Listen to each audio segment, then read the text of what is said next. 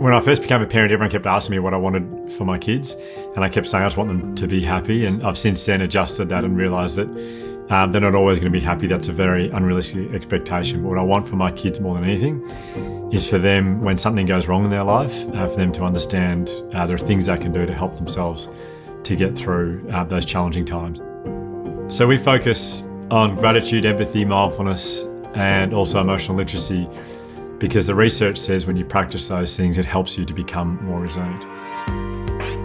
It's become part of our language throughout everything we do, not just a one hour a week work block, I suppose. So it's been valuable for our students, um, for our teachers, but it also, because it's a community um, approach to it all, our parents have that understanding, they have the language, they know exactly what it is we're doing within, within our school. So um, it puts everyone on the same page and it is really helping us look out for the well-being of our community, which has been fantastic.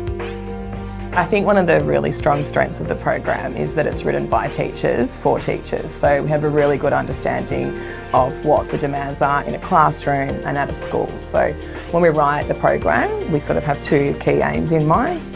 Um, the first key aim that we always think about is student engagement. So we know that when students are engaged and happy, that's when the best learning happens and that's going to result in the best impact for our program. The other thing that we're always thinking about when we're developing a program is how do we make life as easy as possible for a teacher. So we know the demands that are on teachers and how difficult teaching is. So we're always thinking about what can we do to make these lessons really easy to implement that anyone can pick them up. So even teachers that are not feeling really confident in the wellbeing space, these are so well um, scripted for teachers that anyone can deliver them. I think that GEM is really important because it's taught me many things. Gratitude has taught me to always think positive rather than negative in stressful or worrying situations. Empathy has taught me to think of others when they're stressed or worried and know when to just back off and give them some space. And that mindfulness has taught me lots of strategies and ways to calm myself down when I'm stressed or worried.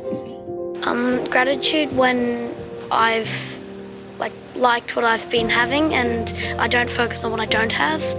Um, empathy, when I see kids at school that don't have people to play with, I ask them if they want to play with us. And if I'm playing football and I make a mistake, I don't go raging, I calm down and do some mindfulness with that. We are passionate about this and we have a belief from our past experience and the evidence the science from the programs from the University of Adelaide, the University of Melbourne, that the strategies work.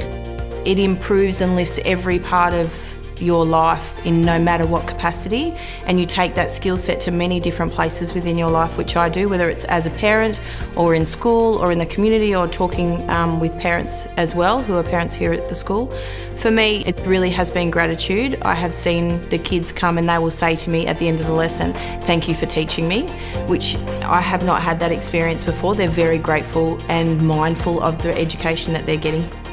I think that starting from prep is a really good way to get those conversations starting and happening um, before they get to the older years. I think if we're doing it in every classroom across the whole school, then those same key messages are getting to every kid, to, from every teacher, and they will take that with them.